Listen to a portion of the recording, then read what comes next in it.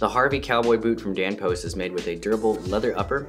You've also got Western inspired stitch detailing throughout, pull tabs on each side making it very easy to throw on with a soft leather lining.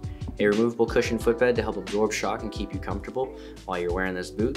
You've also got plenty of room in the forefoot area for added comfort. The double stitch detailing down below gives you plenty of durability. A little bit of a cowboy heel here gives you some height.